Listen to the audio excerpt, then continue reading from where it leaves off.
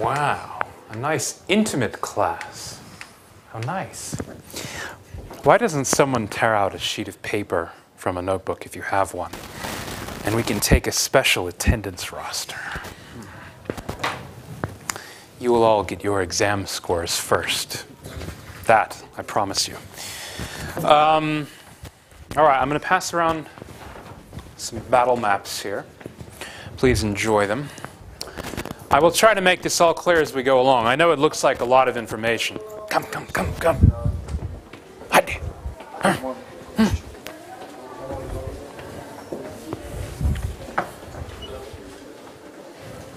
Anyone else coming? No. No. Okay. Well, we come now to. Shh. We come now to the climax of the term, one of my favorite subjects, one of my favorite lectures, in fact. Uh, the Ottoman entry into the First World War. If the outbreak of the First World War was, as Churchill called it, a drama unsurpassed, well, I'm not sure if that's true. This drama might even surpass it. If you look at the story and all of its implications, not just obviously for the history of modern Turkey. As we know, the entry of the Ottoman Empire into the war leads eventually to the breakup of the empire, the creation of the Turkish Republic, along with all of the successor states. I mean, all of that is pretty obvious. But of course, if we look at something like the rather explosive history of the modern Middle East, um, relations between obviously the Islamic world and the West, the Russian Revolution, the collapse of Russia and its war effort, a whole lot of the history of the 20th century goes back to this specific decision that is, the Ottoman decision to enter the war. Um, of course, you could say the same thing for the outbreak of the war, but once the war began, in some ways, this was the key question. My own view is that in one form or another, the Ottomans would have eventually entered the war, whether of their own volition or not of their own volition. That in a certain sense, the First World War was about the Ottoman Empire. That said, it didn't have to happen the way that it did. The way that it did happen was actually pretty remarkable. One of the things you have to keep in mind during all of what follows is that while public opinion was by no means the deciding factor, the cabinet struggle inside the Ottoman government was highly significant. Um, just to sum up, I suppose, in the most general sense, you know, we have, I didn't even write Javid's name. I'll spell it in the Turkish way with the J. Um, Javid Bey, the finance minister, and Said Halim Pasha, who was both foreign minister and essentially prime minister, although as we usually put it in shorthand, grand vizier. This is sort of the, uh, the traditional shorthand, even though the office did not exist in the same way. Essentially, you could call him the prime minister grand vizier. Javid Bey, the finance minister, both of them, for their own reasons, were hesitant to enter the war and probably would have preferred, in their heart of hearts, for Turkey to remain neutral, in part so that they could keep negotiating good deals with the other powers. We know, of course, that Enver Pasha was more or less the gung ho pro German who wanted to enter the war, although the extent of his Germanophilia has often been exaggerated. Jamal was not really that well understood, I think, until recently, quite how crucial his own role was.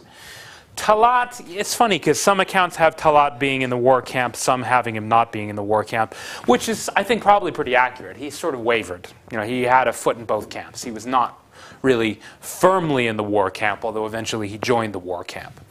Um, but so here's the thing. Part of the drama of all of the, the events that I'm going to cover basically comes down to this. It's kind of like who has the strongest voice in the cabinet? Who controls the Ottoman government? In the end, it may not have been any one man's control, or even two man's, or three man's, or four man's. There were other characters as well. I mean, Halil Bey, in a way, he's kind of Speaker of the Chamber.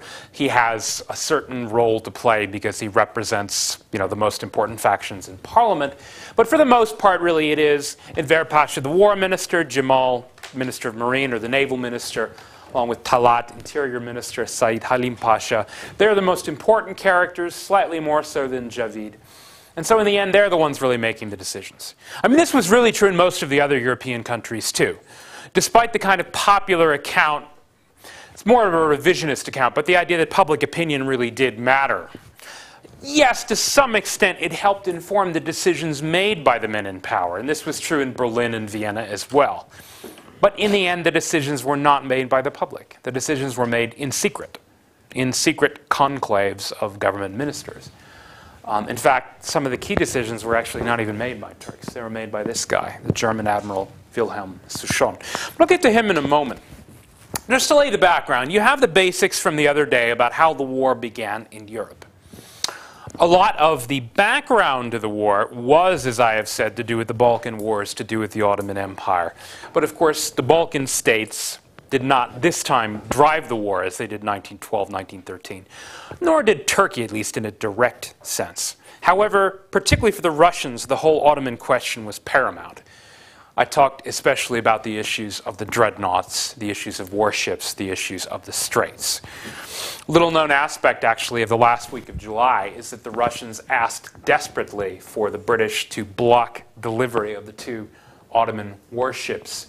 We usually call it in English Reshadiye, although the actual, it's funny because the textbooks often get this wrong. Um, was actually, of course, named after Mehmed Rashad V, renamed. Originally, it was being built for one of the South American countries, I think for Argentina. But anyway, the Russians actually asked on the 31st of July, basically the very day when the German ultimatum landed and Russia's mobilization began, they asked very urgently for the British to impound these two ships. Little did they know that, in fact, the British were about to do that anyway for their own reasons. The British always did everything for their own reasons. They never really did it for anyone else's reasons.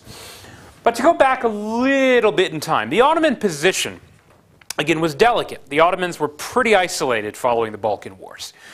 I talked about how the German relationship with the Ottomans, which had been very close in the Hamidian era, partly because of the relationship between the Kaiser and the Sultan, it was now, it's not completely ruined, but it was not anything like what it was. The Germans, remember, had not helped Turkey during the Balkan Wars. You know, they had not helped Turkey even when the Austrians annexed Bosnia-Herzegovina. The Germans, in fact, to a certain extent, were kind of on the Greek side, at least to the extent that the Kaiser, remember, had this relationship with his sister, basically was Queen of Greece. Um, the Albanian question after the Balkan Wars, the Germans actually were not on the Turkish side. In fact, oddly enough, the Russians were supporting Turkish control over Albania because the Russians, remember, although they kind of sort of support the Serbs and Bulgars, they don't really want them to get too big. So they did not want Serbia to have access to the Adriatic coastline. And the Germans actually did not want the Ottomans to have Albania. So there were reasons then that the Turks no longer fully trusted the Germans. But the Turks desperately wanted an ally. They thought that they needed an ally. They thought they needed protection. And amazingly, they actually asked all of the powers in turn. Um, they had asked Britain on several occasions. The British kept saying no. The British, again, it's not that the British were anti Turkish, it's kind of almost like they were just almost indifferent by this point. They weren't paying attention. Turkey just didn't register for them. I'll give you very strong evidence of that in a few moments, but it just it wasn't a priority for the British. Sure, they worried about Egypt, but Turkey was seen as kind of like this dying empire that didn't matter very much in London. They just weren't paying very close attention anymore. So the British say no out of kind of indifference. The French are intrigued. The French position is a bit odd because France, ironically, although we know that the French will eventually team up with the other powers to carve up the Ottoman Empire, the start of the war, the French do not want that to happen. France is actually the leading bond holder in the Ottoman Empire. That is, the French hold the majority of Ottoman debt. And so the French, they kind of want the Ottoman Empire to keep, again, you know, remaining to continue on, but they're not willing to go so far as to sign any kind of an alliance treaty. The Russians, oddly enough, the Russians, actually, it's Talat who proposes this of all people. He proposes an alliance with the Russians. He goes to visit the Tsar at Livadia and the Krim, and the Crimea. This is in May of 1914. It might have just been one of those cynical trial balloon things. But the Russians, they kind of said, hmm, that's interesting. No thanks. So in the end, they were left with nobody but the Germans. Again, it was not that they were real excited about the Germans. They were kind of a little pissed off about the way the Germans had treated Turkey lately. But by the time the July crisis happens, for lack of better options, the Turks are back petitioning the Germans for an alliance. However, the Germans too said no. The ambassador, Hans von Wangenheim, Now, he himself, he was very different from the previous ambassador. The ambassador back in like the Happy era, the Hamidian era, had been uh, Marschall von Bieberstein, and he was very pro-Turkish, very pro-Ottoman. Uh, he was kind of the embodiment of the era in a way. Wangenheim wasn't really like that. He was not a great champion of the Turkish cause. That said, he was an admirer of his emperor, and he had ambitions for the chancellery. That is, he wanted to be chancellor, and so when the Kaiser leaned on him heavily and said, No, I want you to start talks again, he did that.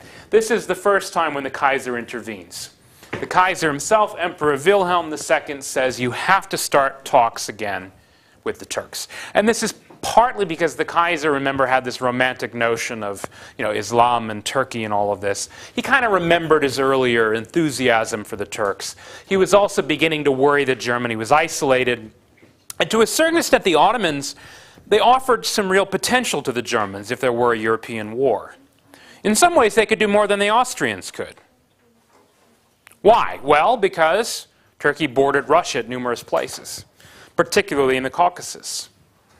Turkey also, because theoretically Egypt was still Ottoman, even though the British controlled it, Turkey could maybe knock the British out of Egypt. There were many strategic areas in which Turkey could offer the Germans something.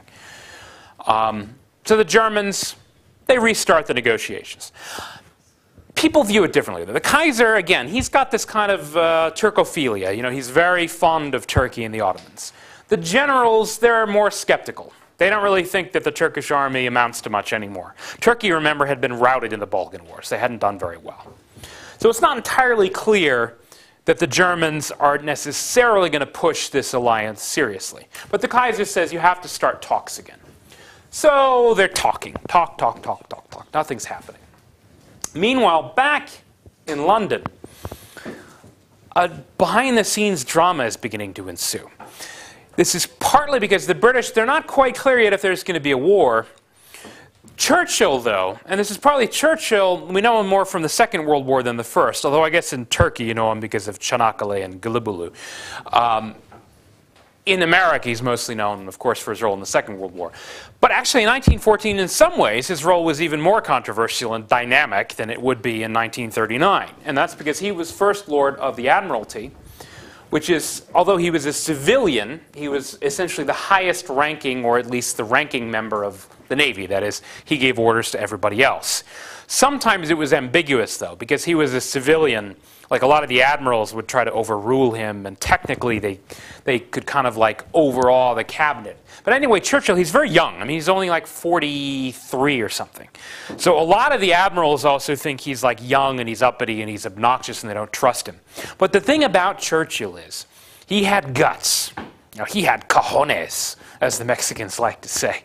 He would often do things without getting the permission or the approval of the other admirals. And in fact, the first thing he did, the most, I think, in some ways important thing in this whole crisis, is that Churchill himself proposed, again, taking over these two Ottoman dreadnoughts. The Sultan Osman I and the Rishadiye, as it's usually called in English, or the Rishad V, the Rishad V. The Sultan Osman I, as I think I may have mentioned, was actually at this stage the most powerful warship ever built. It mounted 13 and a half inch guns. This is the ship the Russians were terrified of, because as soon as the Ottomans floated this ship in the Boğaz in the Bosporus, Russia could pretty much kiss its dreams of controlling the straits.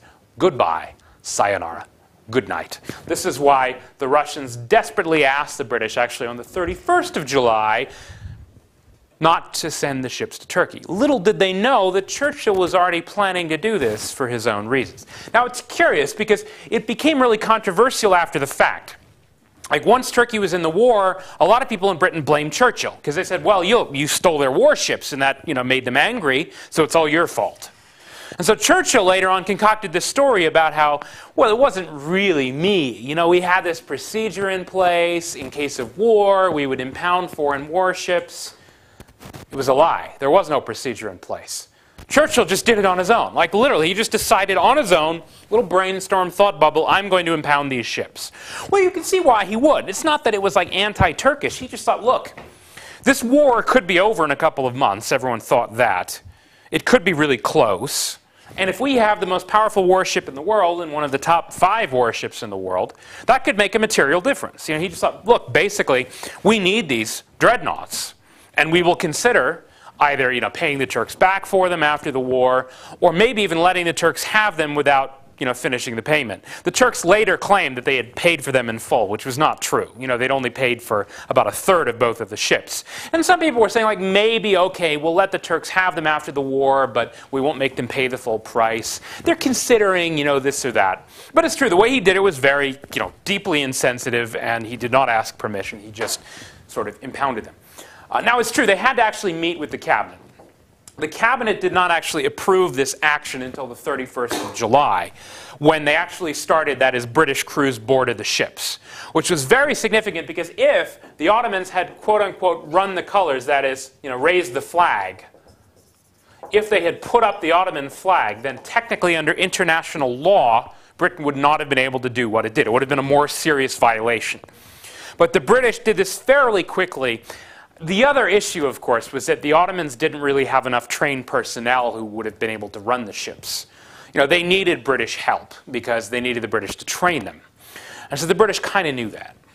So they kind of knew that the Ottomans probably would not be as bold as they would. So instead, the British boarded the ships and just essentially impounded them and declared they are now British ships. They didn't declare this publicly. It was done very quietly, which is significant because the next key date, this happens on the 31st of July, which is, again, against this backdrop, really dramatic stuff happening. You know, uh, the Russians are mobilizing, the German ultimatum to Russia, the, the World War is about to begin. This is the day when they approve this, when they board the ships. Now, we think there is evidence that the Turks actually started to protest this quietly on the 1st of August. So, on the 1st of August, you have a couple of things happening. Turkey first discovers that Britain has impounded the Turkish dreadnoughts. Now, meanwhile, communication between Berlin and Istanbul, Constantinople, the Chancellor Bethmann sends instructions to his ambassador that he is not supposed to sign a treaty of alliance with Turkey unless Turkey can offer something tangible, concrete, something real, something, quote, worthy of the name in the war effort against Russia. That is, we're not just going to give them an alliance treaty, they have to offer us something. Interesting, because on that very day, Enver Pasha goes to Wangenheim at the German embassy, and he says, We will give you the Sultan Osman I. That is, we will give you the most powerful warship ever built. That is our contribution to the common war effort against Russia. That's what Enver tells Wangenheim. Very interesting. Because earlier that very day, the Turkish government had learned that the British had boarded the Sultan Osman I. You see what I'm getting at here? Enver tricked the Germans. he offered them something which was no longer his to give, which cost him nothing because it was already basically taken over by the British. And the Germans used this as essentially evidence to justify the signing of the Ottoman German Alliance Treaty of the 2nd of August 1914. A treaty which was very carefully worded by the Ottomans. The Turks wrote the terms to say, if I can get the wording exactly right, that, um, that the Ottomans would join the war against Russia if Germany entered such a war according to the terms of its own treaty with Austria. Which again sounds convoluted diplomatic language. The upshot of it, though, was that the Turks knew that Germany had declared war unprovoked on Russia. That is, they had not done so by invoking the terms of their treaty with Austria. So, technically speaking, this did not oblige Turkey to fight. So, in two days, they have now won a couple of coups against the Germans. It's very interesting because, again, the old traditional account of the war is the Germans pushed the Turks into it. Uh, it's not really true. In fact, the alliance treaty was signed at Turkish insistence and with deception. The Germans essentially gave the Ottoman Empire a guarantee of its territorial integrity, you know, guarantee of support. You know, in the case of the war, they will help Turkey obviously regain lost territories, etc., etc. Um, in exchange for essentially nothing, because Turkey has not entered the war against Russia. So the Turks have tricked the Germans, and they have won a significant diplomatic triumph. The Germans are a little bit perturbed But meanwhile, they don't get too angry at first because a drama is building, and this is where your maps come in. A drama is building in the Mediterranean, which is truly extraordinary. Uh, I hope you've, have any of you read the chapter yet? The Goeben, an enemy then flying, you've read some of it. So you have to follow the chronology very closely because a lot of this takes, everything's taking place kind of at the same time. But you have to kind of take everything in its turn because it is extraordinary. Basically, the Germans don't have a lot of ships in the Mediterranean. They have the SMS Goeben and the SMS Breslau, along with a couple of support ships and civilian ships. Now, the Goeben is kind of just borderline dreadnought class. It's not really a, it's nowhere near the Sultan Osman I in terms of the size of its guns or its range. It makes something like uh, 24 knots, which is pretty fast. It has, I think, were they 11 and a half inch guns? I think it's 11 and a half inch guns. Anyway, it's a dreadnought, but just barely. You know, it is a significant battleship, that is. On the other hand, the British have like a half dozen dreadnoughts in the Mediterranean. The French have a couple. So basically, it's going to get blown out of the water pretty soon. it's going to get surrounded. And so the question is, what is Souchon going to do, the admiral commanding these ships?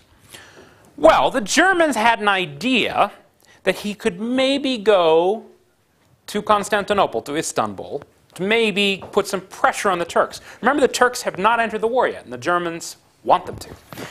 On the other hand, he could also try to make a dash for the Atlantic Ocean, past Gibraltar, or he could sort of take the coward's option and he could go up the Adriatic to Pola, which is the base of the Austrian Navy.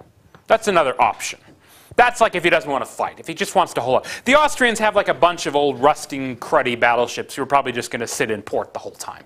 They've got the port fortified, so probably nobody's going to attack it. They're just going to like sit there the whole war. So if Souchon wants to just kind of be passive, that's what he's going to do. Now, Souchon Initially, there are a few things he can do, though, at least to affect the mobilization of the Western Front. Basically, the French have all these troops they're trying to bring in you know, from North Africa, from Algeria. And so the first thing he does on the 3rd of August, he has to wait until the 3rd of August. You have to remember these dates. The 3rd of August is when France declares war. Or I guess technically, Germany declares war on France, followed by France. Anyway, so France enters the war on the 3rd of August. So that means Souchon can, you know, legally as a combatant go and shell these French ports, which he does. Now this is very interesting because on the way there, he actually encounters the British fleet, or a large portion of the British fleet, who have several dreadnoughts, and could have very easily blown him out of the water, except that Britain was not yet at war with Germany because Britain is trying to wait to see what the Germans are going to do about invading Belgium, if you remember from the Schlieffen plot. They think the Germans have probably already violated the border, but they're not sure. They want to send an ultimatum. They want to make sure everything is clear diplomatically. So anyway, so the dreadnoughts literally just sort of pass each other, you know, and they salute in the traditional way you do in peacetime. And they don't fire because they're not at war. Well, interestingly, his ships go back the direction that they came right after doing this. And on the 4th of August, yet again, they pass the British fleet. The 4th of August, this is the day of the British ultimatum. That is, the Germans are supposed to evacuate Belgium. You know, they, they know the Germans aren't going to do this, but they want to at least give the Germans a kind of time window. This is mostly to prepare the British public for war by saying, look, we gave them time or they didn't listen, etc., etc. So they encounter them again, and yet again, they cannot engage. This time, though, it's more interesting because the clock is literally ticking. You remember the scene in the movie we watched, Master and Commander, where they're like trying to escape into the fog. Like that's literally what's happening here. They're waiting for the ultimatum to expire. And the British want to make sure they're still in range when the ultimatum expires so they can fire. The Germans are racing for Sicily. Because Sicily, part of Italy, which is still neutral, means the Germans can dock in a neutral port where they will not be able to be fired upon. So it's literally a race across the Mediterranean. A race Souchon wins by just several hours. And then he holds up at Messina, which you can see here on your map. Basically in this, the tip of Sicily kind of facing the boot of Italy. Well, here there's some real drama, in part because, according to the laws of war, you're only allowed to dock for 24 hours for one day, that is, in a neutral port. Which is not really enough time for Souchon because he wants to go from here all the way to here, and he needs coal. He needs a lot of coal, a lot more coal than you can probably load in 24 hours. And so his men, I mean, they literally rip up the whole of the ship to try to fit more coal in the cargo holds. And the men are like working. This is Sicily. This is Sicily in August. It is like frighteningly hot, you know. They're sweating. A couple of men actually die of heat exhaustion in the middle of this. And they work until they literally cannot work anymore. They all collapse in the tarmac. And Souchon orders up a round of beer for everybody. You know, and finally says, okay, you know, we have to go. He thinks they're probably about to die because, after all, the British know that they're there. And the Straits of Messina, as you can see, they're actually pretty narrow. You've got an exit here and an exit here. And Souchon figures the British are going to be guarding both exits. But as it turns out, they're not. They're only guarding this exit. They're only guarding the north or the, I guess we could call it the west exit. Because they think, they think Souchon is going to try to make it to the Atlantic. The idea doesn't even occur to them that he might be going to Turkey. Remember how I talked about how Britain is just, they're not even like paying attention to Turkey. It's not even on their radar. The idea just doesn't occur to them. So they don't guard the exit. So he escapes. Third time, that is, Souchon escapes. Okay, now the fourth time is a little more ambiguous. The British do actually finally engage, very briefly, that is, they fire. Uh, you can see this on the map where the Gloucester, this is uh, His Majesty's ship HMS Gloucester, engages the Breslau, not the Goeben, which was a dreadnought. This is like the cruiser, the smaller ship. Um, and what's interesting about this battle is that these readings that, that you have, they're all by Barbara Tuchman. She actually witnessed this battle when she was a six year old girl. what, what was she doing in the Eastern Mediterranean, you're wondering? Well, her father was Henry Morgenthau, the rather notorious American ambassador to the Ottoman Empire. You know, the same who's notorious in part because of the Armenian controversy. She was actually on her way just to visit essentially her grand, oh, did I say father? Sorry, grandfather. Um, well, anyway, she actually witnessed the battle as a six year old girl. She was called in to the American embassy to debrief Wangenheim on the battle as a six year old girl. And then 50 years later, she wrote a best selling book about it, which I think is pretty cool. So she witnesses the battle. What happened? Well, basically, the British had a chance. The fourth chance now to blow the German ship out of the water.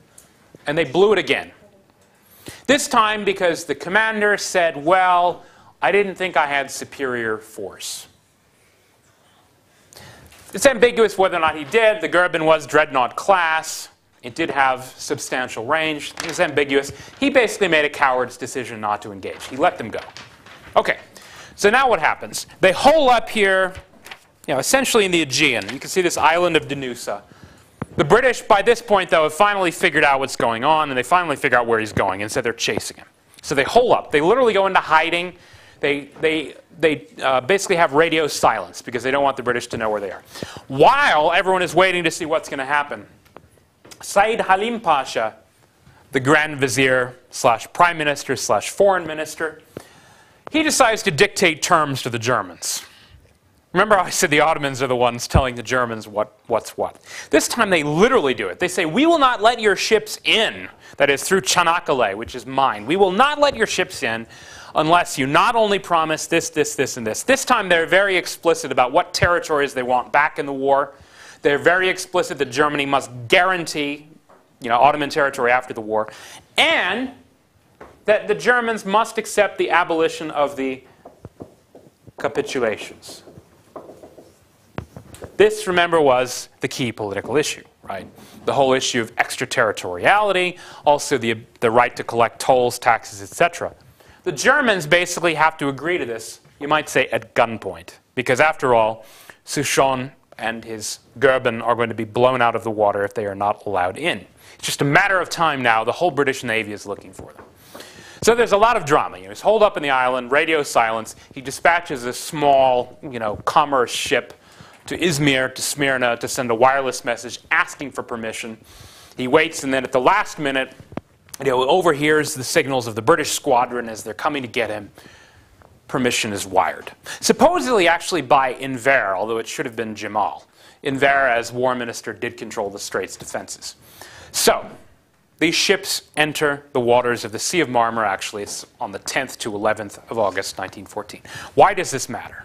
Well, first of all, because it's a violation of the laws of neutrality, obviously. As I said, 24 hours you're allowed to dock, but they're obviously going to stay longer than 24 hours.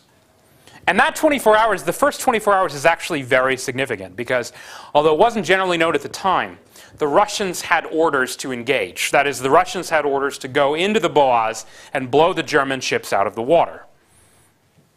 Because from Russia's perspective, you remember how terrified they were of the Sultan Osman I. Well, they no longer have to worry about this, right? Because Churchill impounded it.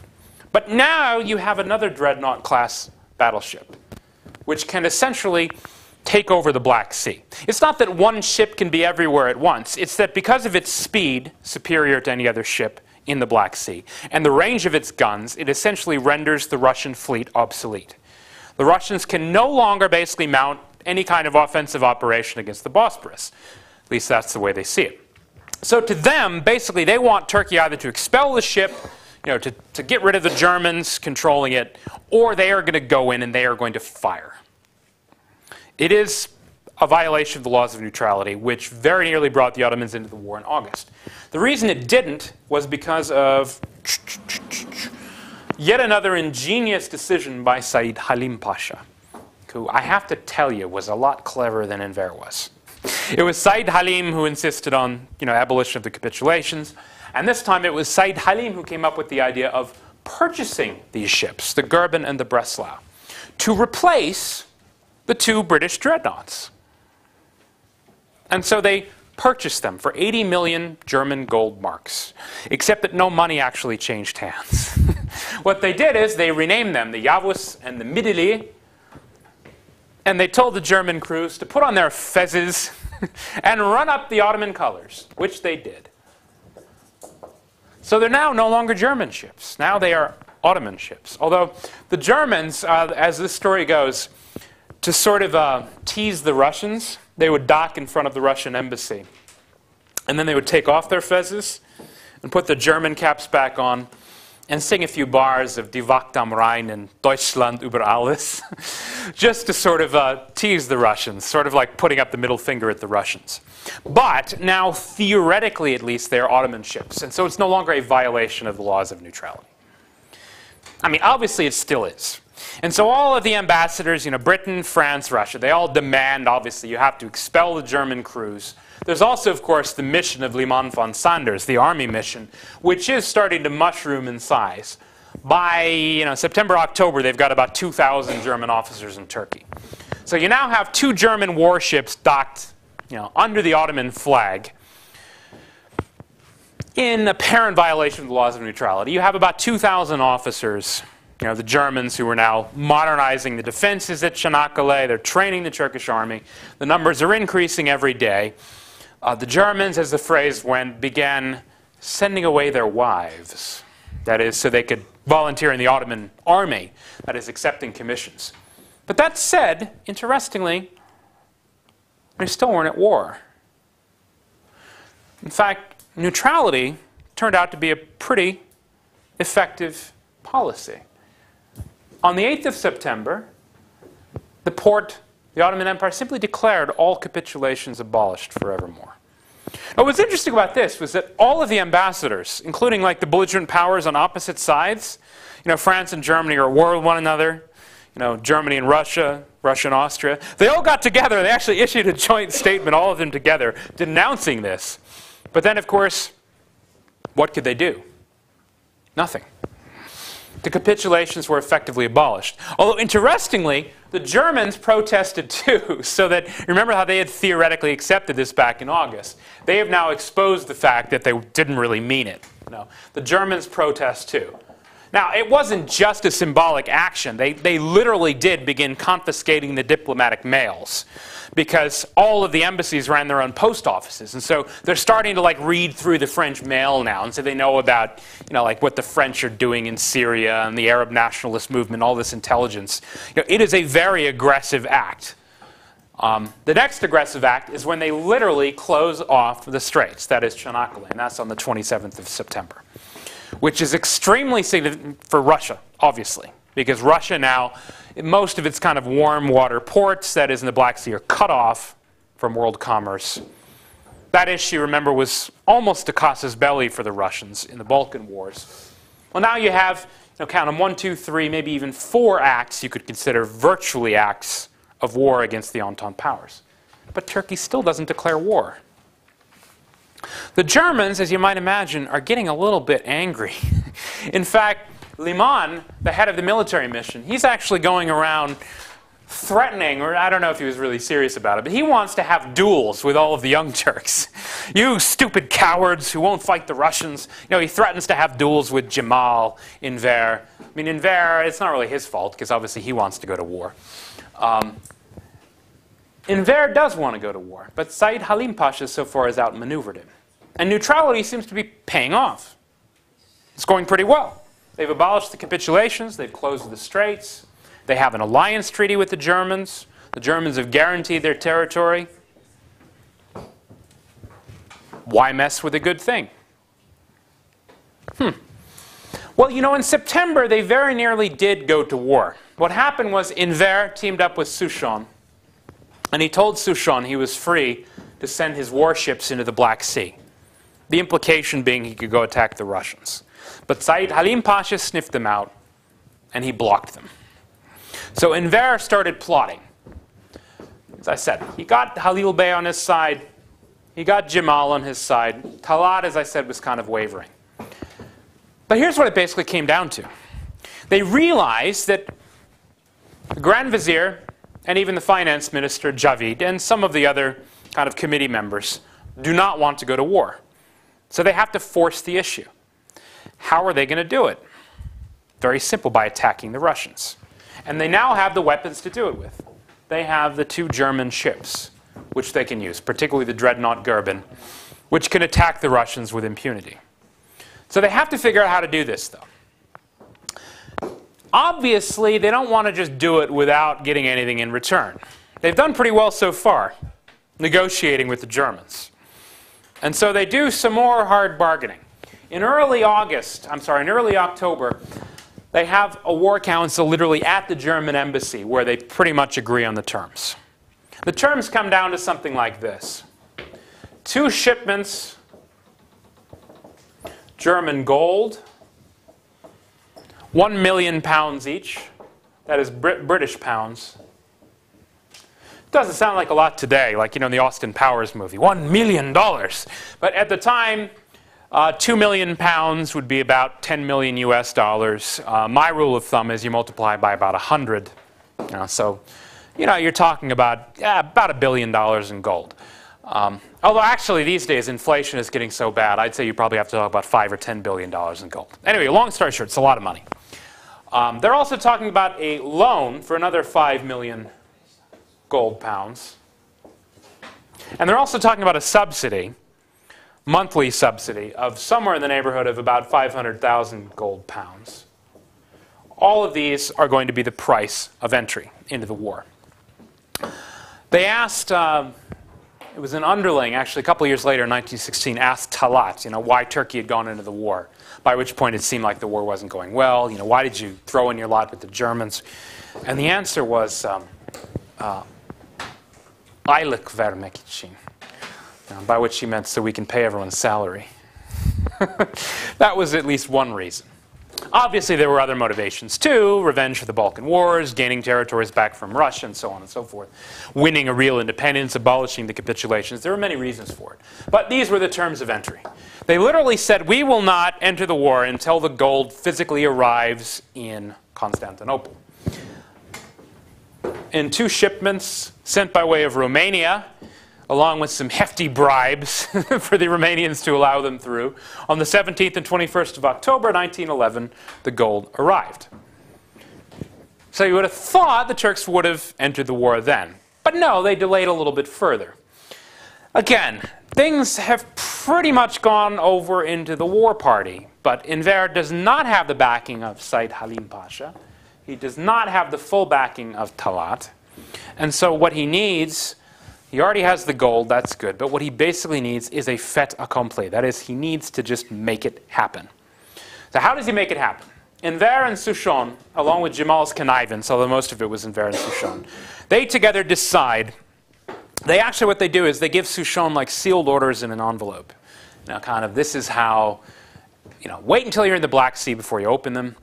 You know, here's a list of short targets to attack the Russians. Um, as Souchon put it, somewhat mischievously, he said something like, um, Well, I will not prevent the guns from going off themselves if by some chance I happen upon the Russian fleet. Um, Souchon had also said, actually, he said this in his memoirs. You know, a lot of this act had to do with this one single man, this German commander, because back when he was holed up in Sicily, his orders to go to Constantinople, to go to Istanbul, were actually rescinded. That is, the Germans told him, you can go where you want, it's up to you. You can go hole up in the Adriatic. And he said, he resolved, in his own words, to make a dash for Istanbul so he could force the Turks, quote, even against their will, to launch a war against their ancient enemy, that is, Russia. Well, it wasn't against the will of Enver, obviously, but it probably was against the will of at least some members of the Ottoman government. Enver gave Souchon his orders, which were open ended. Souchon took them. On the 27th of October, they steamed out into the Black Sea.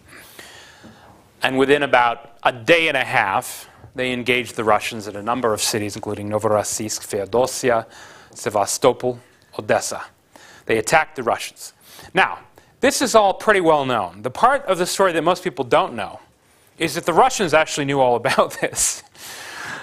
Complicating the story at least slightly is the fact that the Russians knew all about the German gold shipments. You remember how I mentioned the other day in the context of the July crisis that the Russians had broken the Austrian diplomatic codes, cryptographers. So the Russians, because they were reading most of the correspondence of the Austrian ambassador Pallavicini, they knew not absolutely everything, but they knew the vast majority of what was going on. They also had you know, spies inside the Ottoman government. And so they actually issued orders to their own fleet. Eberhardt, the commander, I think I wrote his name up here.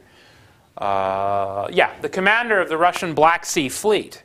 He actually received orders as early as October 21st to expect the Turkish attack as soon as the second gold shipment arrives. So you see, the Russians knew Souchon and the Turks were coming. Which raises a very interesting question because remember how a lot of the diplomacy in the end of July was about you know, who is made to look like the aggressor. The Russians mobilized first, but they made it clear to Britain, at least as the British saw it, that Germany was the aggressor.